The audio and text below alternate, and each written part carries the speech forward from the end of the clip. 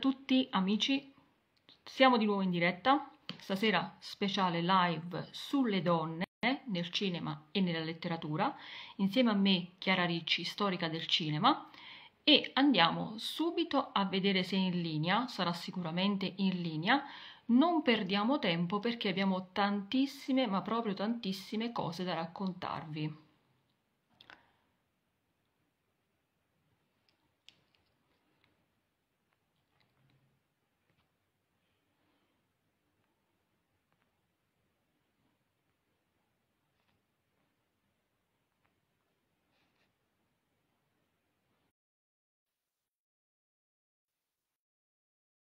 Ti ho invitata, vediamo se il mio invito funziona, altrimenti se non vedi l'invito già sai come procedere e vediamo un attimo di andare online.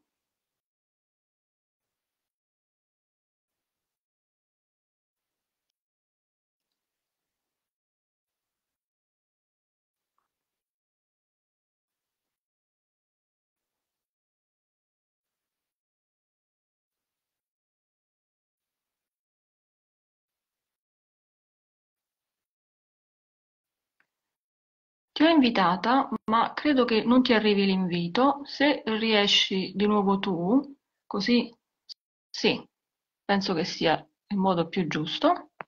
Eccoci, vediamo un attimo se ci accetta e se riesco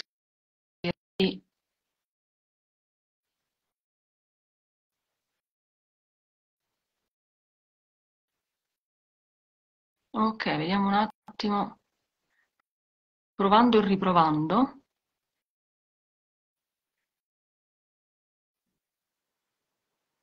Ok tu mi vedrai adesso io non ti vedrò.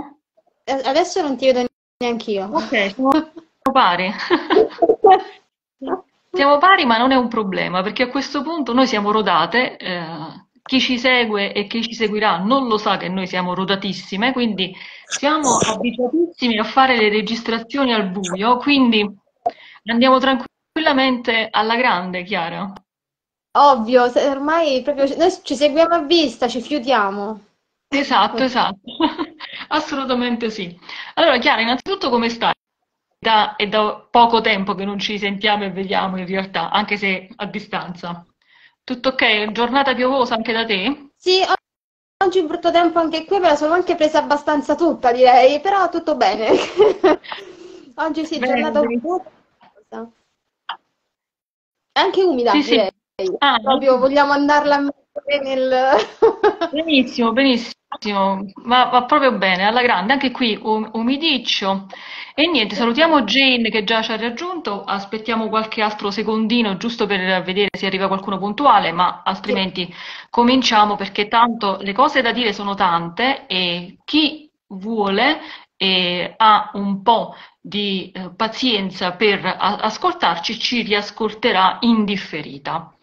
Allora Chiara, sono otto protagoniste quindi abbiamo un bel dire, quattro del mondo del cinema e quattro del mondo della letteratura. Sì. Un bel gruppo assortito di donne. Assolutamente sì. Buonasera ragazze, ciao Jane, bacione. Ciao Jane. Dunque, diciamo subito che eh, come è nata questa, questa live? È nata eh, a sorpresa perché eh, devo dire che anche se eh, la facciamo sul mio profilo, perché eh, così abbiamo voluto farla da questa parte, ma la condivideremo anche sul profilo di Chiara, quindi niente panico, niente paura, è nata, come dicevo, all'improvviso. Chiara mi, mi, mi, manda un vocale, mi fa questa proposta, vogliamo fare questo, questa live dedicata alle donne del cinema e nella letteratura? Qualcosa che comunque sia esuli dai soliti dalle solite cose che fanno nei giorni della festa della donna, chiamata così, ma in realtà è giornata internazionale della violenza contro le donne, la facciamo semmai in un altro giorno. Questa cosa mi è piaciuta tantissimo. Ho subito detto di sì, anche perché abbiamo scelto anche un giorno dopo, non a caso, perché eh, tutti i giorni bisogna bisognerebbe parlare di donne, di grandi donne, come facciamo, come faremo noi stasera, naturalmente raccontandovi qualcosina, qualche curiosità e non scendendo nei particolari perché altrimenti ci servirebbero mesi, non sarebbe una live di um, un'ora, un'ora e mezza, ma sarebbe una live di mesi. Dunque, Chiara, vogliamo cominciare? Vogliamo andare a cominciare? Io lascio subito la parola a te, così cominciamo con il cinema e poi dopo io Dai. ti affiancherò con un altro personaggio particolare del mondo della letteratura. A te la parola. Perfetto, allora intanto ben trovati a chi ci sta seguendo, rinnovo i saluti a chi poi ci seguirà. Allora, come ha detto già Maria Grazia, abbiamo questo ottetto, questo gruppo di, di otto con queste quattro donne del mondo del cinema con Elvira Notari. Elvira Notari è passata alla storia del cinema e non solo come la prima donna regista italiana. Quindi parliamo degli anni del, del cinema muto, 1875, quindi vent'anni prima ancora dell'invenzione del cinema, ed è morta, eh, nata a Salerno ed è morta a Cava dei Tirreni, ovvero alle porte della costiera malfitana, nel 1946. Una piccola curiosità che a me ha molto colpito riguardo la data di nascita di questa regista è che lo stesso anno, ma a distanza di, di mesi, di un mese scarso, dalla nascita di eh, Griffith, di V. Griffith, che è considerato il padre in realtà proprio del cinema, quindi un, un uomo e una donna io l'ho sempre associati da quando ho iniziato a studiare storia del cinema e loro in particolare, il cinema muto in particolare, come il papà e la mamma del, del cinema, quindi un, eh, un, padre internazionale e una mamma tutta italiana, quindi mi sembra un ottimo, una, un'ottima unione. Andando nello specifico di Elvira Notari, come vi dicevo è una, una regista italiana, in realtà eh, lei è anche una delle prime imprenditrici, abbiamo parlato di fine Ottocento, quindi eh, si porta dietro eh, e si porta avanti con sé tutto quel eh, retaggio, quindi immaginiamo già donna, le condizioni della donna in Italia, lei ovviamente è donna del sud, quindi studiò quelle che oggi sono, se ancora si chiamano così, le odierne magistrali, quindi è andata anche tanto avanti con gli studi tenendo conto del periodo.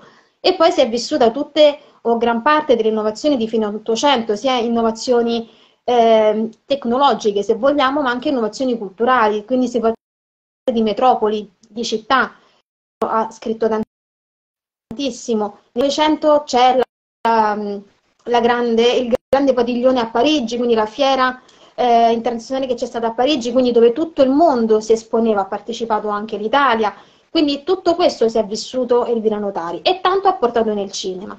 In realtà, se vogliamo, possiamo anche considerarla un'antesignana, un'anticipatrice anche del cinema neorealista addirittura, e parliamo di 40 anni prima, quindi di fine 800, appunto inizio 900, proprio perché lei mh, usava andare a riprendere e a raccontare i suoi film per le strade. Ci sono, purtroppo a noi sono arrivati solamente tre lungometraggi che ho avuto la fortuna di poter vedere conservate alla Cineteca Nazionale qui a Roma perché ho, ho scritto una tesi di laurea magistrale dedicata ad Elvira Notari, quindi mi sono appunto dedicata molto a questo studio e quindi ho potuto vedere questi film che non hanno la traccia sonora, almeno la, quando io sono andata a vederli, ora sono stati restaurati, vengono anche presentati al Festival del Cinema Muto, sta, sta, sta venendo molto rivalutata Elvira Notari, molto studiata fortunatamente per noi, perché fino a qualche anno fa non se ne parlava moltissimo.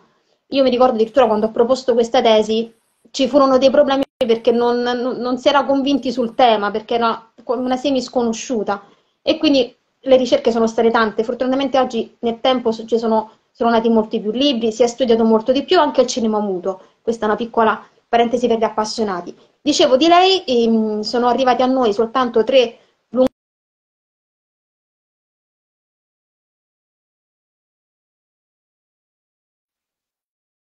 del 27, ma in realtà la Notari si è prodotta in oltre 100 film, ha prodotto cortometraggi, i primi di Arrivederci e gli augurali che venivano proiettati con ovviamente musica dal vivo eh, nelle prime sale cinematografiche, dando appunto gli, quelli natalizi e gli arrivederci che era una sorta di eh, saluto al pubblico, invitandolo poi alle proiezioni successive e quindi facendo anche un breve spot dei film che poi si sarebbero andati a vedere alle prossime proiezioni. Quindi è stata molto, ma molto avanti per la sua epoca. E come dicevo all'inizio è stata imprenditrice, suo marito lavorava per lei e così anche i suoi figli. È nata la Dora Film, che, eh, di cui lei era appunto era al capo, che è questa appunto società di, eh, di produzione dal 1909 fino al 30, E in tutto questo arco si sono prodotti film che sono stati portati anche in America, ovviamente con il visto di censura, e passavano per gli italiani che emigravano in America. Quindi anche lì si è una macchina produttrice. Purtroppo poi il cinema della notaria ha avuto una botta d'arresto con l'avvento sonoro e anche con l'avvento del fascismo. Quindi ricordiamo che Mussolini era contro il regionalismo, eh, i film ovviamente erano muti, però erano tut quasi tutti ambientati in campagna e anche le tematiche, le tematiche che affrontava la Notari, anche lì, come dicevo prima, eh, riguardo al, all'essere l'antesignea del neorealismo, ha parlato anche del, di alcuni profili maschili e femminili, ovvero lei ha portato in scena delle famiglie che non erano complete, o mancava la madre o mancava il padre, madri o padri che hanno cresciuto figli da soli, figli che mh, spesso erano delinquenti, ma c'era poi sempre l'angelo, solitamente un fratello minore, che poi riportava l'ordine nelle cose. La donna era l'infama, quindi era la mala femmina, nella maggior parte dei casi. Per è stata giudicata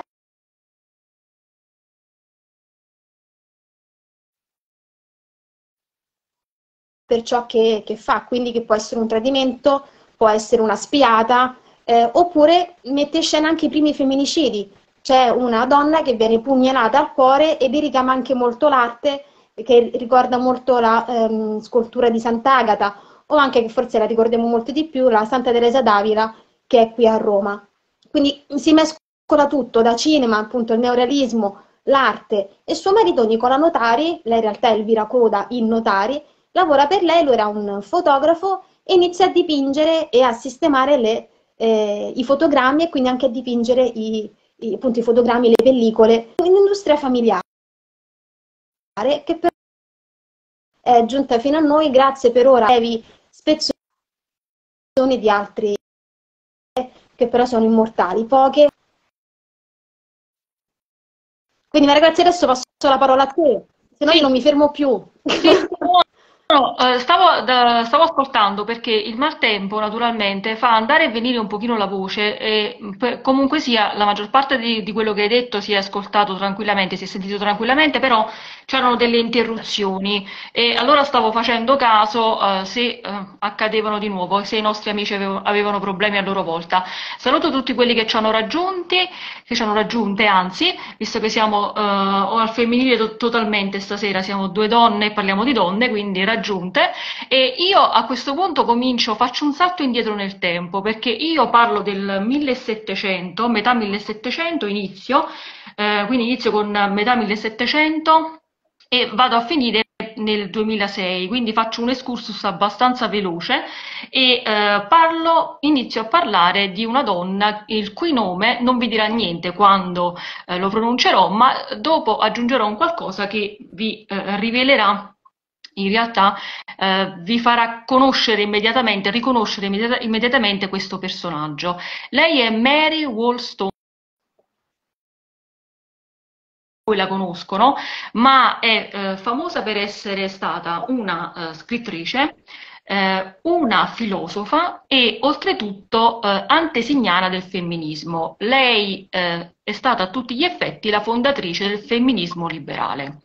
Quindi eh, Mary Wollstonecraft, nata a Londra nel 1754 e morta nel 1794, sempre a Londra, ha avuto una vita abbastanza intensa, anche se relativamente breve.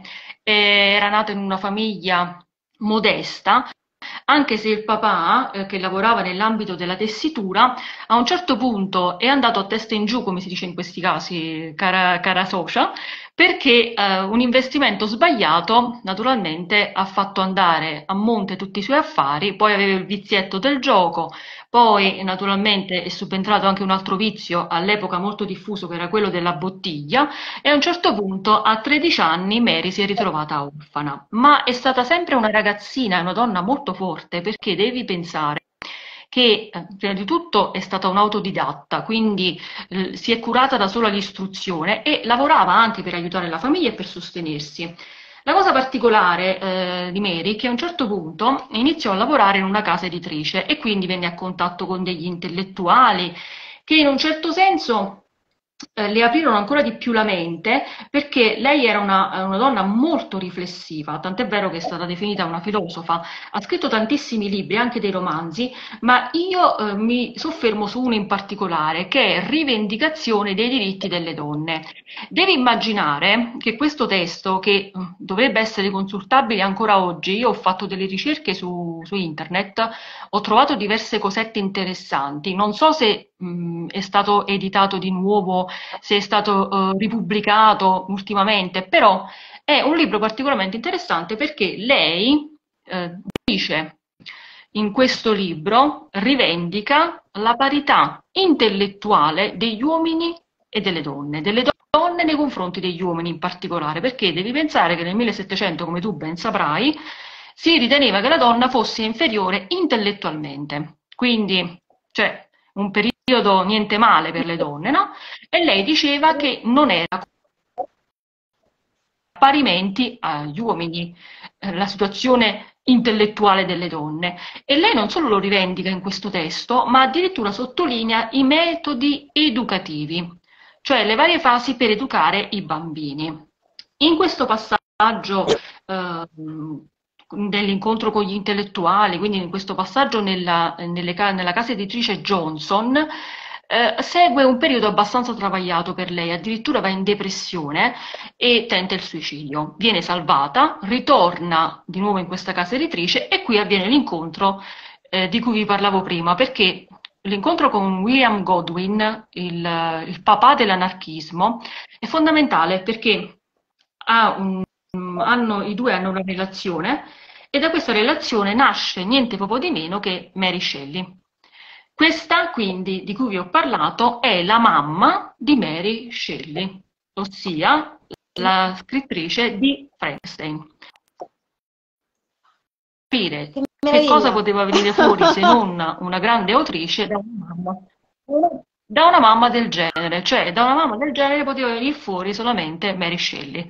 Quindi questa è la prima donna di cui io vi, eh, vi ho parlato e sottolineo che è stata la prima donna femminista della storia, cioè ha fondato il femminismo socialista. Quindi mettete quest'altro tassello in quella che è la storia delle donne e del cammino lungo e tortuoso dei diritti delle donne che ci ha portati fino ad oggi. Io ti rimbalzo di nuovo la parola perché dopo parlerò di, una, di un personaggio molto particolare eh, e in realtà che mi ha molto stupita perché quando l'ho approfondita, che è Matilde Serao, però prima tu ci eh, parlerai di un, un'altra eh, magnifica interprete del cinema. Io non so quale tu abbia scelto adesso, quindi sarà una sorpresa anche per me. Quindi, Chiara, a te la parola. Sì, stiamo andando in ordine a confusioni, ma ovviamente non, non si creeranno mai perché sono nomi ben, ben incastonati nella memoria o comunque nel nostro immaginario. Io proseguo la mia carrellata di donne nel cinema con Anna Magnani. Non potevo non, non inserirla nel mio quartetto d'assi. è un po' che di donne. Ma tu eh, hai anche il tuo libro a portata di mano? Sì, ce l'ho qui da queste eh. parti. Allora quando vuoi fallo vedere. Prima vi racconto e poi ve la, ve la metto in chiusura. Assolutamente. Sì. Allora, eh, la Magnani, tutti conosciamo la Magnani, soltanto pronunciare il suo nome credo che quasi per tutti la, la, la prima scena che ci viene in mente, le prime immagini è la corsa di Roma città aperta. Quindi credo che già solo quello è, è, è un'icona del, del, nostro cinema e non solo. Anna Magnani, tra l'altro il 7 marzo sta, sarebbe stato il suo compleanno, Nasce a Roma nel 1908 e muore il 26 settembre del 73, sempre qui a Roma, ed è stata ovviamente una delle più grandi attrici eh, del secondo dopoguerra credo italiane proprio nella, nella, storia del cinema. Io sono di parte, ma penso di poterlo dire con, con, una certa sicurezza al di là di ogni, di ogni cosa. La Magnani, appunto, come dicevo, è nata a Roma, eh, anche lei è, cresce in una famiglia di donne perché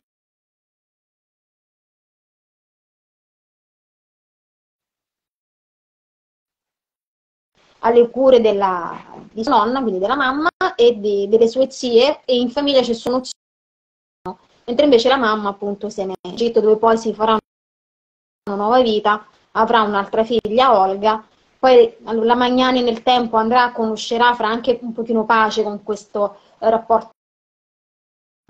Quindi cresce una cosa che lei teneva tanto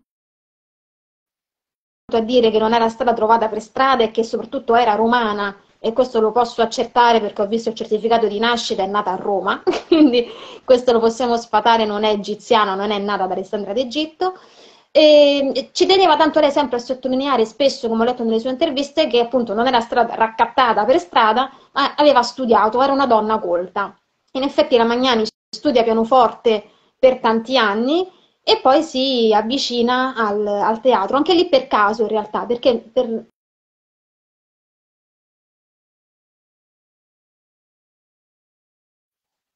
doveva per forza passare anche dove c'era all'epoca la, quella che oggi è l'Accademia Nazionale d'Arte Drammatica Silvio D'Amico, ma all'epoca si chiamava la Reale Scuola di Recitazione Eleonora Duse. E la Magnani doveva per forza di cose passare davanti a questa scuola e quindi vedeva questi ragazzi che ridevano, piangevano, si facevano scherzi, sentiva ridere, urla. Si ferma e chiede ma che fate? E un giovane gli dice qui ci impone noi e la Magnani si iscrive e il ragazzetto era Paolo Stofano, con il quale poi pare abbia una liaison giovanile, però è un'amicizia ovviamente che durerà poi una vita. Quindi la Magnani si iscrive a questa scuola di recitazione, non prenderà mai il diploma, perché al, al termine del, del, secondo anno, anzi scusate, del primo anno, ehm, Dario Dincodemi, che allora era un grande, no, del secondo anno, scusatemi, che allora era un Dario Nicodemi, un grande imprenditore, il più grande imprenditore teatrale, la richiede, la vuole con sé per portarla in, in tournée. E all'epoca non si poteva lavorare e studiare, e quindi la Magnani decide di fare il grande salto e si getta sulle tavole del palcoscenico, e da lì avrà vita la sua carriera. Inizialmente teatrale, la Magnani nasce come attrice di teatro, e reciterà Goldoni, reciterà teatro classico, reciterà le le prime commedie brillanti degli anni 30 e poi arriverà il grande botto con il teatro di rivista, dove ricederà tanti anni, per quattro anni più o meno consecutivi, con Totò. Quindi si faranno l'uno da spalla all'altra. Eh, Totò aveva un, un, grande amore per, per, la Magnani, un grande amore eh, quasi fraterno, paterno addirittura. Eh, aveva un, una grande stima di questa donna che era molto forte. Comunque la, la Magnani già all'epoca aveva nonostante fosse giovane, ma aveva già un carattere abbastanza formato e poi quel carattere che è passato alla storia come un brutto carattere, ma in realtà chiunque ha carattere solitamente ha un brutto carattere. La Magnani da buona romana non le mandava a dire, diciamo che si faceva sentire. E ancora adesso, chi, meglio adesso sono quasi tutti scomparsi i suoi colleghi, però quelli che io anni fa ho avuto la fortuna di incontrare e mi hanno raccontato, insomma, non le mandava a dire, si faceva sentire come in tutti i modi possibili e immaginabili, soprattutto con la sua risata che è rimasta nel, nelle orecchie di chiunque l'ha conosciuta. Quindi dal teatro di rivista, che lo pratica per tanti anni, quindi tutti gli anni 40 almeno, almeno tra il 40 e il 45 sicuramente, ricederà addirittura accanto a Raimondo Vianello, anzi per fare la parte di un con Alberto Sordi, quindi veramente con quello che poi diventerà grande, la grande televisione e il grande cinema anche di lì a poco. Totò, quindi voglio dire, già Totò eh, abbiamo detto tutto. E poi arriva l'incontro con il cinema. In realtà la Magnani tra gli anni 30, lei debutta al cinema nel 34, fa piccole particine, la cameriera, la signora è servita, le piccole battute. Poi con la rivista qualcosina comincia a muoversi. Poi però arriva Roma città aperta e quindi siamo tra il 44 e il 45. La lavorazione inizia il 17 gennaio, per no, il 18 gennaio per non farla iniziare il 17, perché Rossellini, il regista, era abbastanza scaramantico e quindi non voleva portarsi sfortuna da solo. E da lì comincia questa lavorazione di questo film. La Magnani e Rossellini non sono già amanti, lo diventeranno al termine della lavorazione in un treno che si dirige eh, per la presentazione di questo film a Parigi. La Magnani era disperata perché suo figlio Luca nato nel 1942 dalla relazione con Massimo Serato, aveva problemi di salute e allo stesso tempo eh, Rossellini era disperato perché un figlio gli era morto di peritonite in Spagna. Quindi questo dolore li unisce, quindi partono su questo treno come colleghi di lavoro che stanno andando alla presentazione di un film e ne scendono da innamorati. Questa relazione durerà fino al 48 quando arriverà l'uragano Ingrid, quello che viene così ricordato, e che poi sfocerà ovviamente Ingrid Bergman e che poi sfocerà in quella che poi è passata la storia scandalistica al gossip degli anni 40 come la guerra dei vulcani. ovvero la Magnani recitava Vulcano, appunto questo omonimo film diretta da William Di Eterle, mentre invece Rossellini sarà a Stromboli a, recitare, a dirigere l'omonimo film che appunto I due vulcani con Ingrid Bergman. Su, su, questa storia tra i due vulcani si è detto di tutto, addirittura che la Magnana andasse sul picco del, dell'isola a tirare improperi verso l'altra parte, che, che, ci fossero spie tra un set e l'altro. Quindi insomma se ne è raccontato di ogni, all'epoca ci hanno sguazzato non poco, anche perché erano le, le due attrici di, di, picco in quel periodo. E poi ecco l'Italia si divise in metà. Il nord di solitamente era per la Bergman, il sud tifava per la Magnani. Comunque ve la faccio breve, altrimenti veramente non, vi, vi porto non so dove.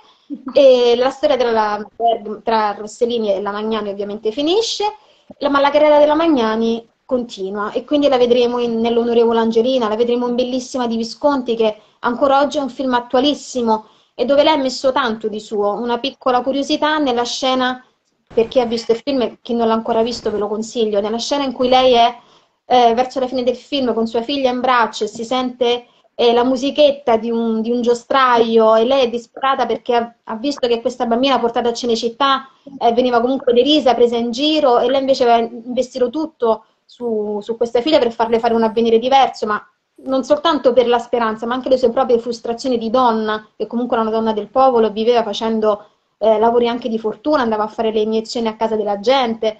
Quindi quando si rende conto dell'errore che ha commesso e dove ha esposto sua figlia, piange su questa panchina con sua figlia in braccio e la Magnani lancia un grido di aiuto. Quel grido di aiuto non era nel copione. La Magnani è, mm, è partito questo, questo grido, questo, questa richiesta d'aiuto eh, senza che neanche Visconti ne fosse a conoscenza. Quindi questo per dire quanto ha investito nelle, nella, nel ruolo. Arriverà all'Oscar nel 1955 con la Rosa Tatuata. La Magnani è la prima attrice italiana a vincere un premio Oscar, tra l'altro per un film recitato in inglese. La Magnani non conosceva una parola di inglese, l'ha imparato in dieci giorni di navigazione da Napoli a New York. E poi ancora l'incontro con Pasolini, e, Suor Letizia, quindi ha fatto anche in realtà ruoli improponibili, come tra cui Suor Letizia e la pila della Peppa. Quest'ultimo lei lo addirittura misconosciuto, dice quello non l'ho fatto, ovviamente il film esiste, quindi non possiamo dire il contrario. E poi l'incontro con la televisione a fine anni 60 e inizio anni 70 dove Alfredo Giannetti la, la dirige in quattro, um, quelle che oggi si chiamano fiction, in quattro sceneggiati, ovvero quattro film in realtà, indipendenti l'uno dall'altro, dove la Magnani fa una galleria di donne che vanno dal, eh, non in ordine, ve dico in ordine di tempo, quindi del 1870, che poi in realtà è l'ultimo di questa carrellata di film, che verrà poi mandato in onda eh, la sera proprio della sua morte, il 26 settembre del 73, correva l'anno di grazia 1870, poi ci sarà la, la Sciantosa, che invece è il primo film che va in onda, cui seguirà ehm, 1943 un incontro con Enrico Maria Salerno e l'automobile che è esilarante, la maniera alla guida di una Spider che corre come una pazza per via Veneto, con eh, il marito di Cavaleri, che adesso è Vittorio Caprioli.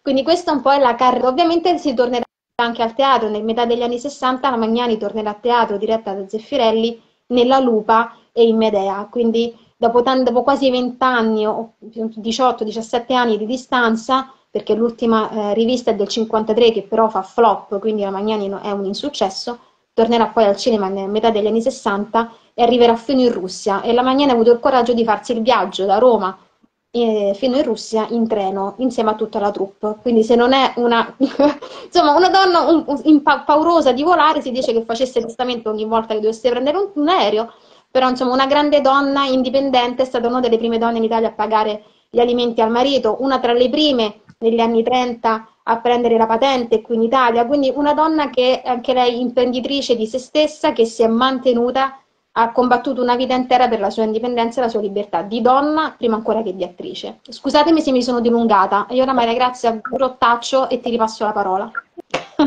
Io eh, ti ascoltavo attentamente perché eh, innanzitutto Stiamo parlando di, di, donne di epoche diverse. Io adesso tornerò ancora indietro perché andrò nel, eh, nel 1800 a chi ci sta seguendo che il fil rouge è sempre lo stesso, donne che hanno avuto molto coraggio, donne indipendenti, donne libere, che hanno conquistato, come si dice qui, a morsi la vita, Quindi questo è il filo conduttore. Poi dopo alla fine vi faremo anche una sorta di riflessione finale di sunto, perché sembrerebbero un attimo eh, distanti, almeno temporalmente, l'una dall'altra, ma in realtà alcune, eh, vero Chiara, si incroceranno anche, perché più avanti poi parlerò di un'altra grande donna che incrocerà il destino, mi sembra proprio della, Maglia, della Magnani, che ha incrociato il destino della Magnani. Sì, assolutamente sì. Sì, vabbè, però non non rivelo altro. Invece voglio salutare Andrea, che ci ha salutate entrambe, e Cristina. Grazie per essere, grazie per essere passati. E adesso passo a parlarvi di un altro, eh, una donna che ho, ho, riscoperto in realtà, che è Matilde Serao. Dovete sapere che eh, Matilde Serao, mh, mm, io l'ho, mm, l'ho incontrata eh, naturalmente tra i libri di scuola e non ho mai approfondito il suo personaggio e devo dire che mi era rimasta impressa perché è stata la prima donna, e qui eh, gioco naturalmente in casa, a fondare e a dirigere un giornale. Quindi l'ho scelta, tra virgolette, perché eh, è stata una grande scrittrice, ma soprattutto una giornalista. E dovete sapere che io, um, tu mi, mi, perdonerai, Socia, ho sguazzato soprattutto nel giornalismo, perché ha una vita molto interessante, niente male. Innanzitutto una donna, la prima donna a fondare e dirigere un giornale, e chi conosce anche solo di sfuggita il mondo giornalistico, anche oggi, eh, al nostro tempo, alla nostra epoca, sa che è difficilissimo per una donna fare il giornalismo, fare la giornalista, il giornalista. Eh, Matilde Serao nasce a metà del 1800 e muore nei primi del 1900. Nasce a Patrasso, in Grecia, perché dovete sapere che la mamma era una nobile decaduta greca, il papà un avvocato. Che succede? Mm, la curiosità, una tra le tante curiosità, è che lei fino all'età di otto anni non sapeva né leggere né scrivere. Quindi immaginate, cioè, che cosa assurda per una scrittrice prolifica come lei, per una giornalista, eh, non saper né leggere né scrivere a otto anni. Poi direi che ha recuperato alla grande, perché naturalmente eh, è diventata una grande scrittrice oltre che una grande giornalista. Ma procediamo per ordine. Eh, la famiglia versava in difficoltà economiche, quindi lei a un certo punto si è data da fare anche lavorando, con, facendo la telegrafista addirittura, poi vi dirò, perché questo eh, ha ispirato anche un, un, suo libro, e in poche parole eh, a un certo punto la famiglia si trasforma Napoli, il papà, che è un avvocato, comincia a fare il giornalista per una rivista, un giornale che si chiama Il Pungolo. Quindi lei cresce eh, respirando l'aria di una redazione. Da qui in poi sono chiari i passi perché comincia a scrivere degli articoletti, comincia a eh, darsi da fare nell'ambito giornalistico e a 20 anni che fa? Prende e parte a Roma. Va a Roma, ambiente diverso, salotti letterari e incrocia diversi intellettuali. Diventa um, ispira la curiosità di, di, chi la circonda perché eh, fisicamente è abbastanza imponente e poi ha una risata abbastanza roboante, quindi più che affascinati eh, dalla sua cultura e indipendenza, eh, coloro che la circondano sono affascinati dal suo essere abbastanza, diciamo così, imponente e un po' mm, e non, eh, non passare inosservata, diciamo così, sia fisicamente che nel modo di comportarsi e qui conosce tra i vari intellettuali quello che sarà il suo futuro marito, Scarfoglio. Um, diciamo che, facciamo un passo indietro, l'indipendenza della, della, Serao viene già fuori quando comincia a lavorare per, per, aiutare la sua famiglia e fa la telegrafista, come vi dicevo prima, e addirittura il suo primo libro l'ha dedicato alle telegrafiste, cioè alle sue colleghe. Riandiamo davanti e torniamo al suo eh, incontro con Scarfoglio. Scarfoglio rimane ammaliato da questa donna. E infatti la descrive in maniera molto carina eh, perché pur essendo una donna apparentemente tra virgolette concedetemi il termine rude, in realtà eh, lui la dipinge come una donna molto delicata, molto sensibile, molto gentile, molto dolce, anche se da, dall'apparenza un po' ehm, seriosa, chi ha visto l'immagine e la, la foto del, della Serao sa che parliamo di una donna abbastanza eh, matrona, ecco, matronale. Quindi da qui comincia un sodalizio che non è solo amoroso, ma è anche professionale. E pensate che il giorno del matrimonio, a scrivere la cronaca del matrimonio tra la Serao e Scarfaglio è stato eh, Gabriele D'Annunzio, quindi ho detto tutto. E da lì in poi i due moglie, quindi è la prima donna anche che riesce ad unire lavoro e famiglia, tra, tra l'altro la Serao, cosa fanno insieme marito e moglie? Fondano un giornale, il Corriere di Roma. Nasce questo Corriere di Roma, le cose non vanno bene perché subito dopo, diciamo dopo un po' di tempo, cosa succede? Che il Corriere di Roma va a testa in giù, come si dice in questo caso, perché è pieno di debiti, eh, quindi sommerso dai debiti, però loro sono fortunati, incontrano un banchiere livornese che decide non solo di appianare tutti i debiti del Corriere di Roma, ma addirittura invita marito e moglie a tornare a Napoli per dirigere il suo giornale. Dalla crasi, dall'incontro tra questi due giornali, il Corriere di Roma e il Giornale di Napoli, nasce il Corriere di Napoli. E eh, potete immaginare chi eh, siano stati i corrispondenti di allora eh, del giornale, perché eh, Matilde Serao, godendo di amicizie abbastanza importanti, chiama niente meno a scrivere per questo giornale Gabriele D'Annunzio, Carducci e Salvatore Di Giacomo, cioè quindi una triade perfetta.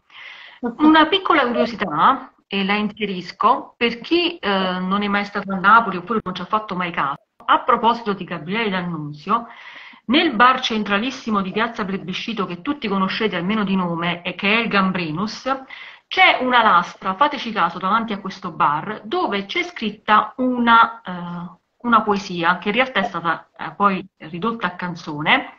Non so se tu lo sai, Socia, che è stata scritta da Gabriele D'Annunzio e si chiama Avuchella ed è stata musicata da Ferdinando Tosti.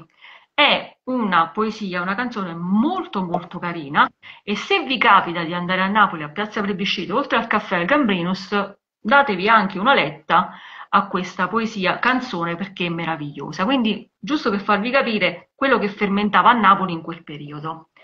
Dopo questa avventura con il, il Corriere di Napoli che si conclude ai, ai loro, che cosa succede? Che marito e moglie, Scarfaglio e la Serao, fondano un giornale che tutti conosciamo, il famosissimo Mattino. Eh, il Mattino nasce nel 1892, le cose non vanno bene perché è un anno orribile per la Serao, dovete figurarvi che litiga col marito, se ne va in Val d'Aosta per naturalmente per eh, riprendere un po' le fila del suo matrimonio, ma soprattutto eh, riprende le fila del matrimonio suo marito che se ne va a Roma, Scarfoglio conosce una cantante di teatro e ha una liaison con questa donna.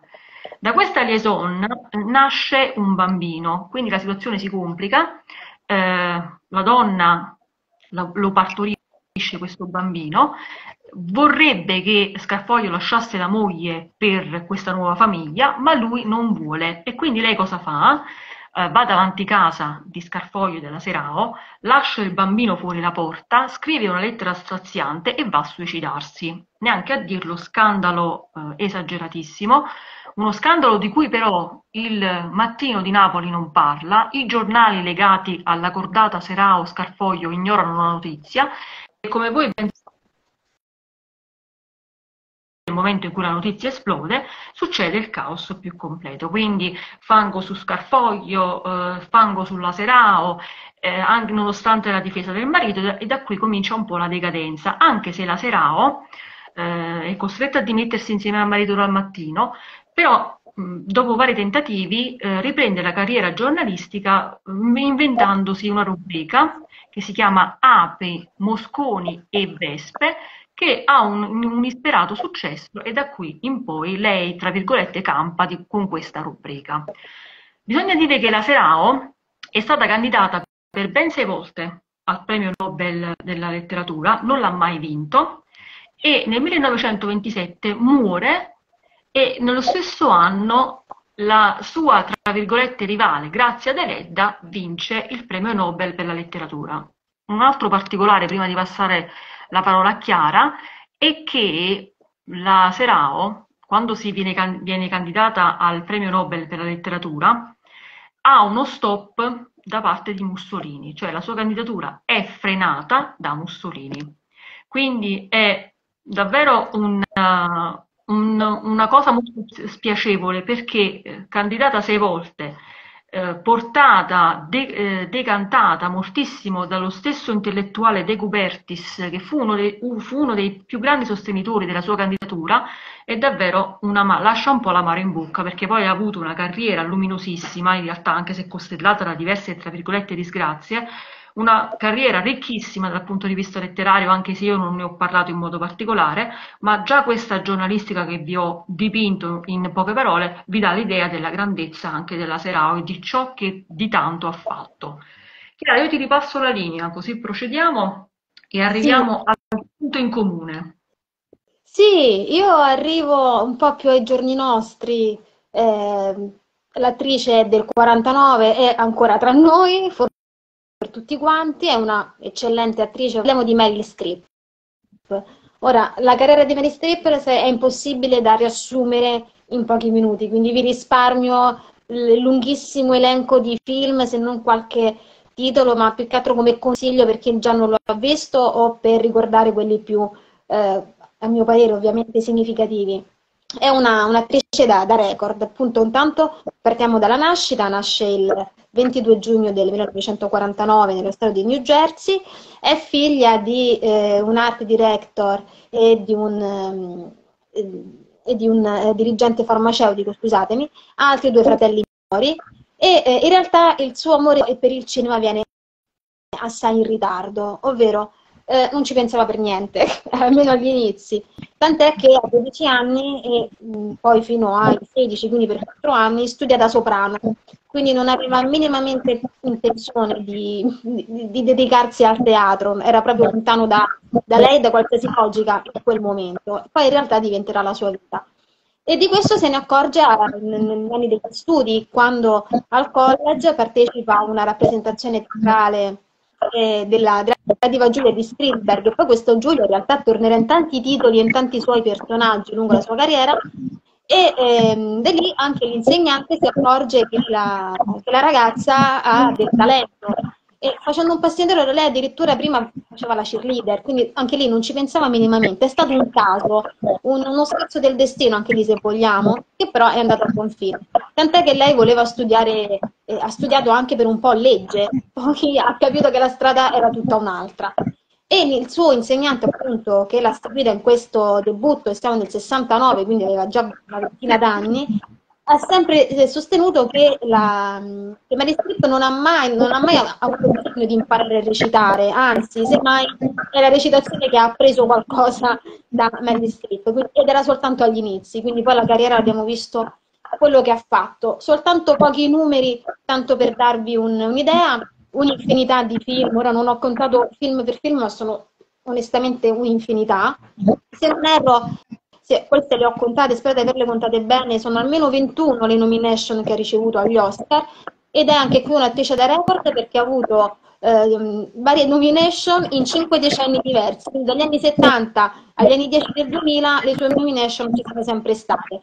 Ha vinto tre Oscar a pari di Ingrid Bergman, di Daniel Lewis, di, insomma, è soltanto tra le, eh, tra le, poche ad aver vinto tre premi Oscar ed è tra le poche ad aver vinto, insieme ad altre soltanto sette attrici, tra cui la stessa Bergman, Ellen Hayes, ehm, Jessica Lange, che hanno vinto sia per la loro interpretazione come miglior attrice non protagonista che come miglior attrice protagonista. Quindi, come dicevo, è un'attrice da Oscar e da record.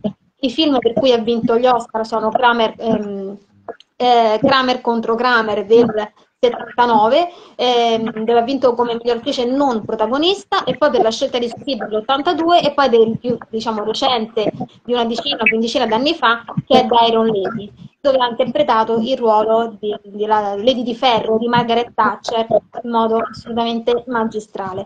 Come dicevo, ehm, il suo viene in ritardo, addirittura al cinema arriva nel 1977 e in realtà viene dopo un rifiuto perché Pino De Laurentiis che stava qualche tempo prima, poco tempo prima, aveva intenzione di girare la nuova versione, remake di King Kong, al figlio eh, dice in fase di provini in cui si era presentata di strip lo dice in italiano, però Mary Strip capiva l'italiano, che praticamente, senza mezzi termini, era brutta.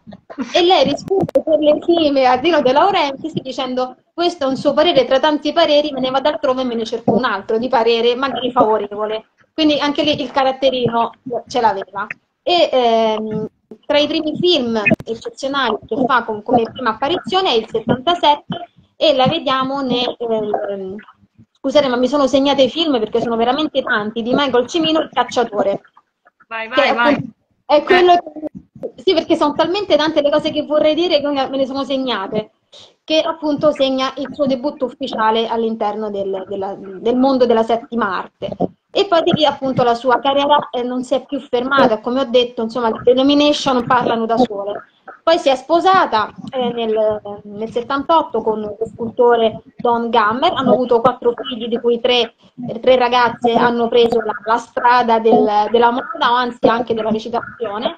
Quindi è andata, eh, diciamo, la, la genie, la, il gene è stato ben come dire, eh, tramandato, quindi si spera una nuova generazione di piccole Meryl Streep, ovviamente poi non si possono, non si potranno mai fare paragoni assolutamente, però ecco, quello che nel nostro, diciamo, per l'argomento che stiamo trattando è importante sottolineare, al di là dei magnifici film eh, dove la, la strip ha interpretato qualsiasi tipo di ruolo, da appunto l'Iron Lady a Florence, dove è una cantante, in realtà era una signora che adorava cantare, ma in realtà era stonata, però faceva questi concerti per, eh, per il suo piacere di cantare.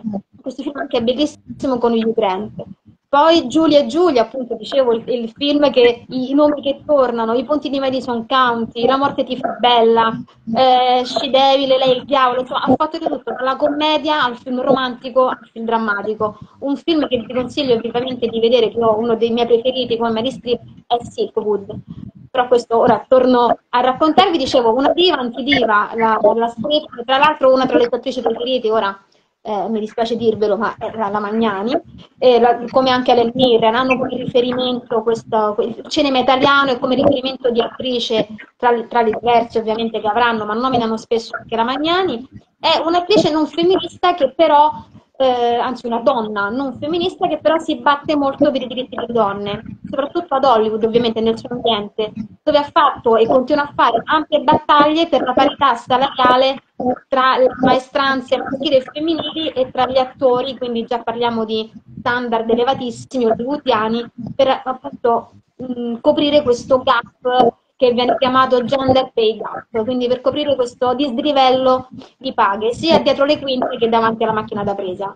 Lei è andata avanti con uno slogan preso poi dal film Suffragetta, in realtà dove lei ha interpretato la femminista Emily Pankart, spero di averlo eh, detto bene, e quindi appunto torniamo al, ruolo delle donne e eh, in un'intervista ha dichiarato meglio ribelle che schiava, quindi questo per dire un po' qual è il, il temperamento di questa attrice e di questa donna. E quindi appunto dicevo, eh, una donna che si batte moltissimo per i diritti all'epoca della eh, presidenza eh, Trump, quando si stava candidando, lei ha vinto suo, uno dei suoi 9 Golden Globe, quindi parliamo credo nel 2017, eh, all'epoca Trump, lei sì, e non solo, ma anche tanti altri di Hollywood ebbero il coraggio, lei in prima persona, di fare un discorso contro Trump, contro il suo essere appunto mh, contro anche questa la parità delle donne, proprio per parlare della politica di Trump. Lei sosteneva molto ehm, Hillary, ehm, non mi vengono i nomi, Hillary Clinton, ora mi viene il nome da sposata, eh, però ecco, lei sosteneva molto l'altra parte politica e non ha avuto paura, timore, ma ha avuto un grande coraggio, cosa che non è così scontata avere, forse in America sì, qui da noi non lo so, però insomma ha avuto il suo coraggio o forse è stato anche più pericoloso in quel frangente con un tycoon come Trump, eh, mettersi davanti a un microfono e dire questa, ehm, come dire, esternare le proprie posizioni non solo politiche ma anche ehm, diciamo, mentali e di supporto proprio alle donne. Quindi è una donna che ehm, fa, fa, squadra con le donne, tant'è che quando ho dovuto interpretare Miranda nel Diavolo di Prada ho avuto grandi difficoltà, infatti dice che quello secondo lei è, tra l'altro ha avuto anche qui una nomination, è stato il suo ruolo meno riuscito, il meno capito perché aveva difficoltà proprio di fare, di interpretare una donna così assolutamente non empatica. quindi anche qui quindi una, una, grande donna di spessore, di talento, è praticamente un Oscar vivente, eh, almeno a livello di nomination, che vaga per Hollywood. Ti do la parola, Maria Grazia, perdonami. io eh, ti ascoltavo incantata perché adoro Meryl Streep, quindi è tutto dire. Eh, penso che eh, Il Diavolo Veste Prada sia una delle tante meraviglie che ha fatto. Ci sono delle espressioni, ancora adesso quando sto parlando mi viene in mente quando parla non ha il minimo senso della moda, non era una domanda, è un'affermazione, quindi è meravigliosa anche negli altri film, eh, strepitosa. Allora, io adesso vagheggio ancora nel nella metà del 1800 e negli inizi del 1900, quindi mi appropinquo all'epoca moderna e parlo niente di meno che di Grazia Deledda. Allora, eh, permettetemi perché è una conterranea, alla fine io sono di origine sarda, quindi alla fine mi, eh, mi piace anche gongolo an, anche di, del, nel parlare di questa, di questa scrittrice. Eh, che ha vinto il premio Nobel nel 1927 proprio per la letteratura e dicevo prima, soffiandolo in un certo senso a Matilde Serao. E voglio dirvi una particolarità eh, per cominciare, eh, carina, una curiosità che mi è saltata all'occhio perché eh, l'ho riscontrata anche nella mia famiglia. Lei si chiama in realtà Grazia Maria Cosima Damiana Deledda, per gli amici Grazia Deledda. E dovete sapere che eh, questa cosa in Sardegna è abbastanza diffusa perché anche nella mia famiglia, la mia stessa nonna paterna aveva 4-5 nomi che non ci azzeccavano nulla messi in fila, sembravano messi a casaccio, ma erano Giuseppina, Paola, Francesca, quattro nomi, il quarto non lo ricordo, ma ricordo questo affollamento di nomi. Quindi diciamo che era una, una sorta di eh, abitudine in Sardegna, che adesso si è persa, quella di mettere dei nomi lunghissimi. Eh, parlando seriamente, adesso questa era, una cosa giusto per stemperare un attimo il, il, il, discorso perché stiamo parlando a ruota, anche se stiamo dicendo cose molto molto interessanti, però ci rendiamo conto che stiamo parlando un'oretta, quindi l'attenzione comincia a calare. Eh, diciamo che grazie ad Eledda, oltre ad essere ricordata per aver, eh, per aver vinto il premio Nobel, io parto a bomba, poi dopo vi dico qualcosina, eh, tornando indietro nel tempo, dicendo che è stata socia ascolta bene, quindi perché viene dalla Sardegna, quindi questo è stato un orgoglio anche quando l'ho detto a mio padre, perché io lo ignoravo, devo dire la verità, lo ignoravo, l'ho scoperto eh, facendo questa ricerca per questa puntata di stasera, che eh, niente di meno, lei è stata la prima donna a candidarsi al Parlamento italiano per il Partito Radicale nel 1909 nel collegio di Nuoro quando le donne ancora non potevano votare. Sì, lo dobbiamo dire, lo dobbiamo sottolineare proprio in rosso perché è stata una provocazione assurda nei confronti di un voto che arriverà solamente quasi 40 anni dopo, nel 46. Quindi lei è stata la prima donna a fare in questa cosa e aprirci la strada con una provocazione fortissima al voto che noi oggi abbiamo. Un'altra cosa da sottolineare è che è stata sì vincitrice del premio Nobel, ma è arrivata donna a ricevere il Nobel dopo un'autrice svedese. E qui anche una, ancora una volta il Nord Europa si mostra molto più, diciamo così, civile del, del, del, nostro paese, perché è cosa da dire, da sottolineare anche questa. E niente, torno indietro e vi racconto un pochino della, della sua vita. A differenza delle altre parlato finora, eh, la Deledda se la passava bene economicamente, la famiglia era abbastanza benestante, nata a Nuoro, cresciuta in un ambito familiare eh, abbastanza caloroso, eh, ha avuto diverse disgrazie, poverina, la morte del fratello, ma non sto qui a raccontarvi tutte quelle che ha passato, però ha avuto la fortuna di avere un'educazione stabile e soprattutto dei precettori, come si dice in questo caso, molto molto preparati che l'hanno aperta totalmente al mondo degli intellettuali. Tant'è vero che è stata anche lei sostenuta proprio per la sua arguzia, per la sua intelligenza e per la sua preparazione da molti intellettuali dell'epoca. La cosa però che voglio eh, dire, esulando un pochino dal racconto di lei, perché vi ho detto queste due cose importanti a cui tenevo particolarmente, cosa Guardate qui, questa è l'edizione della Biblioteca Economica Newton de Canne al Vento, che è uno dei romanzi più famosi della Deledda. E dovete sapere che eh, l'Ire 2000, quindi figuratevi, avanti Cristo, dovete sapere che è anche il romanzo più tradotto al mondo. Quindi è stato letto dappertutto, ma io volevo fare una piccola nota, una digressione, diciamo così, proprio per la validità di certi testi e di certe scrittrici, ce ne sono tantissime, sottolineo, però alcune, naturalmente di quelle che, di cui stiamo parlando stasera, hanno davvero segnato il passo nella storia della, delle donne e della storia del, della società e del mondo femminile. Diciamo che eh, la Deledda ha scritto questo, questo, romanzo nel periodo del verismo, quindi parliamo di un esponente del verismo romantico. Lei così viene definita eh, dalla, nella letteratura.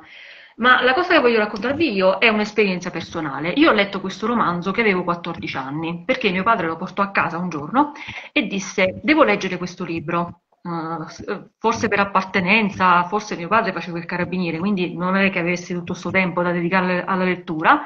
Quando tornò con questo libro me lo regalò e disse: Però prima voglio leggerlo io.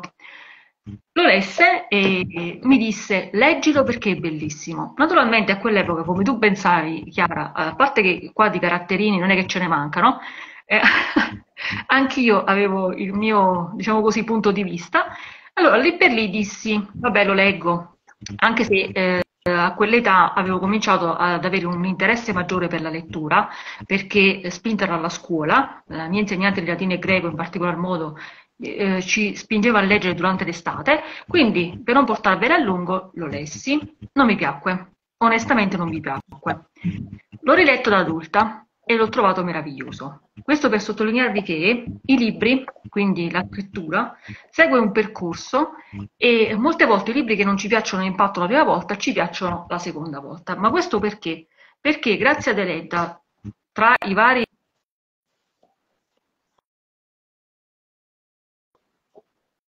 affrontato nella scrittura e nella letteratura delle tematiche abbastanza eh, inusuali per il luogo, la regione in cui era nata.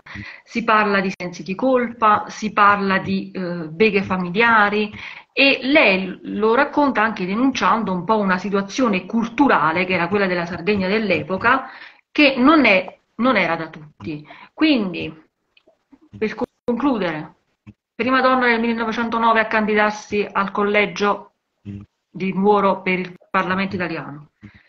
Eh, seconda donna in Europa a vincere il no, premio Nobel nel 1927, donna che va al di fuori di tutti gli schemi e in Sardegna e nella provincia di Nuoro chi vive là sa bene che esiste una mentalità ancora oggi abbastanza difficile che sfida queste convenzioni e scrive questo libro di rottura che è Canne al vento. Io direi che non devo aggiungere altro, ti ripasso di nuovo la parola e ci appropinquiamo alla, alla fine di questa nostra chiacchierata e poi diremo alcune cosette anche. Per concludere, a te la parola Chiara. Mamma mia che meraviglia! Tutte queste donne sono una più interessante, più proprio di, di, di umanità e di, di, intelletto, proprio di, di livello culturale spaventoso. Io concludo mia, il mio quartetto d'assi, il mio poker di donne, con Liliana Cavani, una splendida 91enne, lo so, l'età delle donne non si dice, ma davanti alla Cavani è, è un valore aggiunto, un'età e un, ripeto, un intelletto così ancora vivo, acceso e ancora con tante cose e tanta voglia di raccontare. Ora, Eliana Cavani, tutti ovviamente primo, la prima cosa che ci viene in mente anche qui è Il portiere di notte, forse il film più, più famoso, quello che deve essere più celebre, anche perché forse è quello che le ha dato tra i tanti qualche problemino in più, ma ora insomma ci arriviamo, ci arriviamo piano piano. Eliana Cavani nasce a Carpi, spero di non sbagliare con la geografia, ma se non erro dovrebbe essere in provincia di Modena, eh, ed è figlio di una casalinga e di un architetto. Si laurea eh, a Bologna in lettere antiche nel 59 e tant'è che lei, spesso ancora oggi nelle sue interviste dice da giovane sapevo più delle guerre del Peloponneso che non di quello che avevo, che mi ruotava intorno. E se, se ci riferiamo al 59, insomma, c'era il mondo che si muoveva, qua l'Italia era alle porte del boom, una, un'atmosfera vibrante e piena di, di, cose da fare, c'era un paese da ricostruire, un, una gioventù che aveva voglia di, di, divertirsi e di fare soprattutto. Quindi dopo, questa, dopo lo studio classico della laurea viene a Roma e frequenta il centro sperimentale che qui a Roma è andato nel 1935 da Mussolini perché il cinema era, l'anima, era l'arma più forte. Fortunatamente poi è rimasto il cinema in, come eh, arte e quindi non come propaganda, perché quello era poi lo spirito che si, si faceva cinema in quegli anni. Ma torniamo alla nostra linea davanti. Quindi frequenta il centro con il corto la, la, battaglia, che in realtà era un documentario, e vince quello che gli viene dato, il premio, quello che all'epoca si dava, non so se si dia ancora oggi, comunque si chiamava il Chuck d'Oro. E da lì inizia la sua eh, carriera che va avanti fino ad oggi. Se pensiamo che all'ultimo festival di Venezia è stato presentato un suo lavoro eh, ispirato a un saggio del fisico eh, Crivelli che se non erro si intitola L'ordine del tempo, appunto ispirato all'omonimo saggio di Carlo eh, Crivelli, quindi anche di una mente perennemente in movimento. Ehm, la Cavani, come abbiamo detto, ha fatto tanti, credo neanche si è pensato a una più di 40 eh, circa una trentina di film, se non erro, in cui compaiono ovviamente documentari, film per la tv, quindi c'è un, cinema a tutto tondo. La Cavani lavora anche nella televisione, oltre che grande schermo. Facciamo soltanto dei piccoli esempi. Nel 66 fa il suo primo Francesco di Assisi, in realtà ne farà ben tre versioni. C'è questa versione per la TV del 66 con Luca Castell, ce ne sarà un'altra dell'89 che però non ha molto successo di pubblico, che è quello con Mickey Rourke, e poi ce ne sarà un'altra per la televisione nel 2014.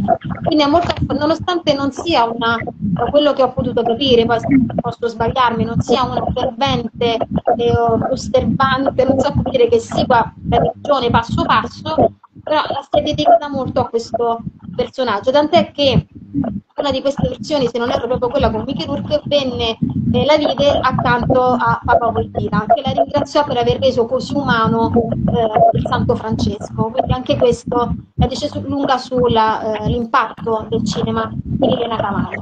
Poi ha fatto un altro film dedicato a Galileo. Questo film oggi, da quello che ho scoperto, è di proprietà di Mediaset. In realtà questo film non è mai stato trasmesso dalla televisione, non si sa se c'è da qualche parte lo zampino di, del Vaticano o di qualche altro ente che lo, lo abbia bloccato, però non è, non è, mai passato in televisione, nonostante poi Galileo Voitila sia stato abilitato, insomma, perché sappiamo cosa gli è capitato uh, a suo tempo.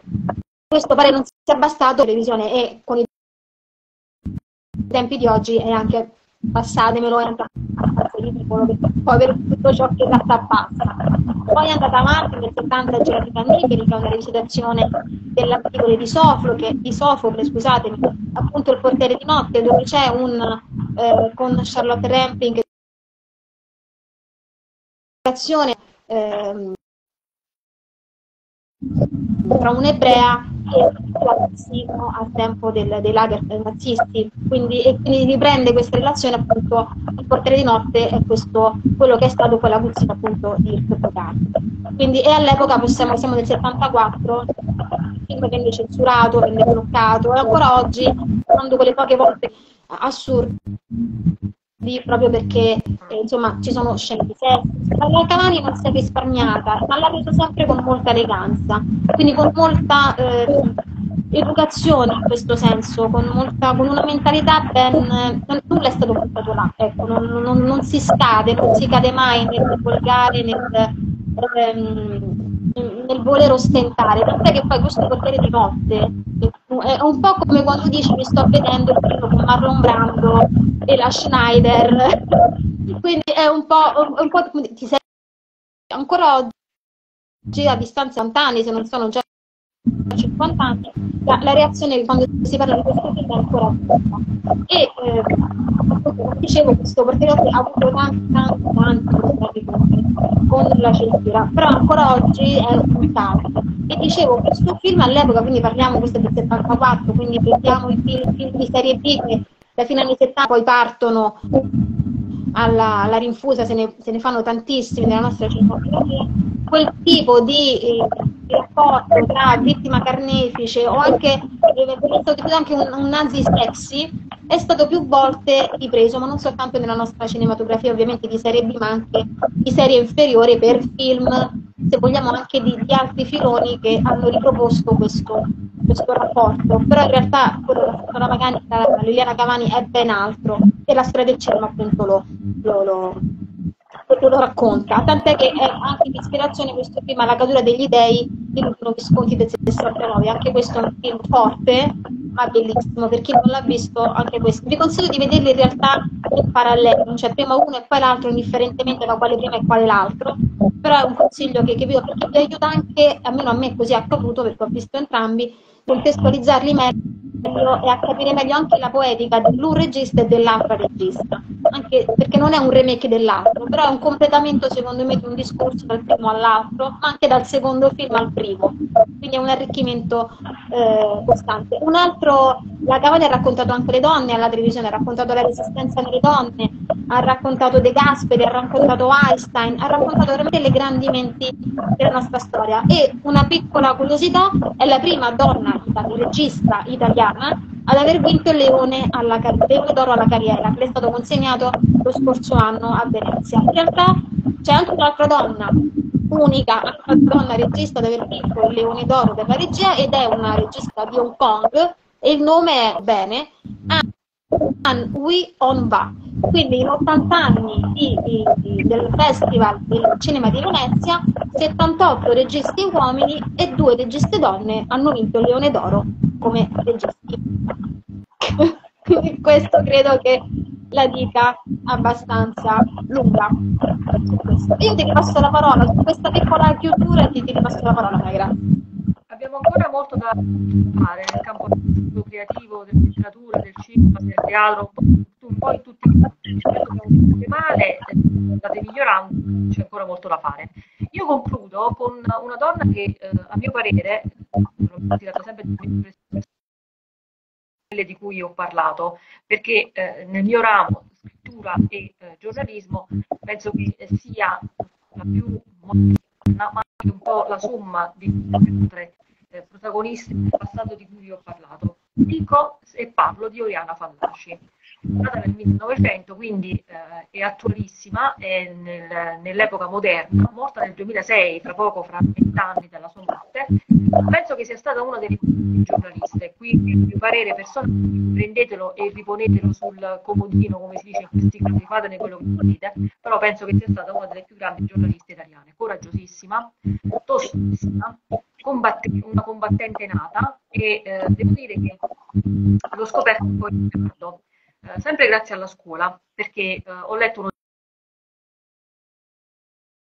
Naturalmente sarò molto sintetica perché la sua vita è immensa, ci sarebbero tante cose da dire, tante cose da raccontare, tanti libri di cui parlare, ne ha scritti in realtà pochi per la sua attività giornalistica intensissima, ne ha scritti 20, tradotti in 12, eh, in, tra, tradotti in diverse parti del mondo, ma ha venduto 12 milioni di copie, quindi abbiamo del tutto con queste poche cifre, questi pochi numeri per valutare a livello proprio la carriera di Oriana Fallaci, che è stata immensa. Partiamo dal presupposto che lei è nata a Firenze, lo sapete la maggior parte di voi lo saprà, ed è morta a Roma e ha avuto una vita intensa che ha, ha, vissuto in pieno, secondo me, è stata una giovanissima staffetta partigiana, il papà era un antifascista, e pensate che ha iniziato la sua carriera eh, scegliendo la facoltà di medicina. Poi ha lasciato medicina, ha fatto un lettere, poi dopo ha fatto e ha scelto il giornalismo. E questo, secondo me, era il suo destino, perché è stata prima e qui andiamo a, al punto centrale di questi nostri interventi, è stata la prima inviata speciale in guerra. Quindi, ma eh, come Oriana Fallaci, la cui immagine con la sigaretta in mano e con quell'aria sinistra potente la riconoscono tutti. Eh, diciamo che la sua carriera è stata costellata di incontri, e, tra cui uno in particolare, quello con Panagulis, ma ci arriverò dopo, ma è stata costellata di incontri, da esperienze giornalistiche che hanno poi dettato la scrittura, perché la maggior parte dei suoi libri sono tutti, tutti, tutti al suo percorso giornalistico. pensiamo al senso utile, pensiamo a, per esempio alla guerra che lei ha scritto successivamente a un suo periodo passato in Oriente a studiare la condizione della donna in Oriente. Pensiamo alle, negli anni 60 alle interviste in America che ha fatto agli astronauti e alcuni tecnici della NASA. Pensiamo a, alla guerra in Vietnam dove lei è stata inviata speciale. Pensiamo appunto, arrivo qui a quello che dicevo prima, all'incontro con Panagulis. Eh, compagno, lui, eh, lei le, è stato, eh, le è stato vicino fino alla fine, quando è morto. Insomma, la sua vita è stata costellata di tantissimi episodi, e lieti e meno lieti. La vita della Fallaci è stata fuorché comunque noiosa. C'è a questo punto un particolare che voglio sottolineare, perché lei è ricordata soprattutto per la sua teoria sull'Islam. Io la ritengo un'intellettuale visionaria, perché, eh, apro e chiudo parentesi, ho visto lungo, e i più sapranno che è, lei era, era contraria, attaccava l'Occidente perché si era inginocchiato, piegato troppo alle dinamiche di islamizzazione, lei così la chiamava, che del, dell'Occidente. Chiudiamo parentesi, penso che la realtà le stia dando in un certo senso ragione, ma non vado oltre perché questo non è il, il posto, il momento in cui parlare di queste cose, ma ancora una volta sottolinea la, l'intelletto notevole e uh, visionario di questa donna che è cresciuta proprio guardandosi intorno e osservando chiaramente, leggendo la realtà anche oltre i suoi tempi. Voglio concludere con una chicca personale, perché molte di queste, come eh, sapete, le, le ho lette e incontrate nel percorso giornalistico, perché ovviamente quando si fa la giornalista, anche se in piccolo, in mini, comunque si, si prende ispirazione, si cerca di guardare a chi sta più tanto, a chi è più grande. E io ho, eh, all'età di 14 anni ho letto uh, l'unico libro della Fallaci non ispirato alla carriera giornalistica, ma ispirato alla sua vita personale. E tutti particolare questo.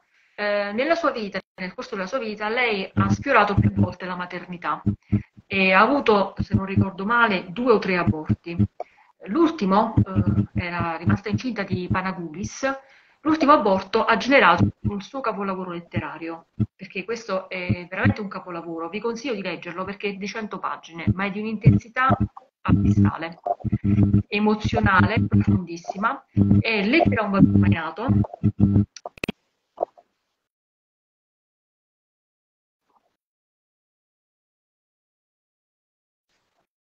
È a tratto intensissima, emotivamente coinvolgente, ma c'è tutta l'umanità e la disillusione del, di una donna grandissima che è stata Oriana Fallaci, discutibilissima naturalmente dai diversi punti di vista, ma secondo me una grandissima donna. Con questo io concluderei perché abbiamo fatto un'oretta di chiacchierata e aspetta, adesso vado a vedere social quanto abbiamo fatto, quasi un'ora e mezza. Ci prendiamo un minutino. Dimmi, dimmi. È volata? Sì, è volata perché abbiamo, abbiamo chiacchierato piacevolmente di donne che ci piacevano in realtà.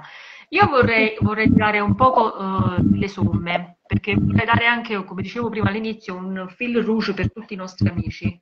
Uh, io ho scelto uh, un percorso storico, tu hai scelto un percorso storico quasi parallelo, ma abbiamo scelto, come, eh, come, dicevo prima, donne che si sono distinte per indipendenza, libertà, intelligenza, creatività, forza, coraggio, per tutta una serie di cose, di valori, ma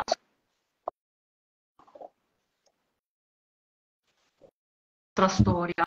Se io e te possiamo fare adesso, io la giornalista e tu la storica della, del, del cinema, forse qualcosa è le altre colleghe possono fare e diciamo così tra le difficoltà comunque ehm, fare quello che vogliono forse lo dobbiamo anche a loro tu che dici Socia? assolutamente Sì, sì, ci hanno spianato la strada, tanto c'è ancora da fare, ma tanto hanno fatto loro per noi, vogliamo anche. Quindi sì, ci hanno spianato la strada tantissimo, proprio come loro. Io eh, volevo, volevo fare concludere te, perché uh, questo sicuramente lo sai tu. Eh, mi parlavi di un'intervista che Oriana Fallaci ha fatto la tua prediletta, Anna Magnani, se non sbaglio, eh? Sì, l'ho intervistata la, la Fallacia del della Magnani per un europeo, lavorava all'epoca negli anni 60 per questa rivista, una bellissima intervista, moltissime le domande, cioè, l'ultima cosa che dice la Fallacia è che era Magnani, lei è un grande uomo. Quindi è un'intervista del 1963 e il titolo è Mamma Calda, da cui si trovi anche in rete. Tra le domande della Fallaci, che fa la maggiorità delle risposte ovviamente della Magnani, ma le domande della Fallaci c'è questo due donne alla pari, quindi la, la Magnani che prende in giro questa pulce perché le fa delle domande secondarie irriverenti o fa toccare cose che lei vorrebbe si toccassero, ma sempre con grande rispetto. Quindi è un gioco di due donne di generazioni diverse, ma che giocano ad armi pari con grande, grande intelligenza e grande cultura. E quindi non potevamo in, mani- in maniera migliore, abbiamo trovato anche un trade